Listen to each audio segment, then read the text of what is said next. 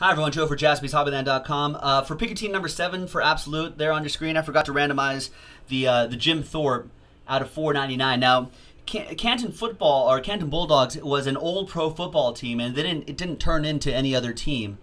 So our college rules actually doesn't uh, doesn't apply in this particular situation. So that's why we end up randomizing that card. So one person in the break will get that bonus card. So let me set that up. So people in the break are right here. Pick your team seven on a Friday.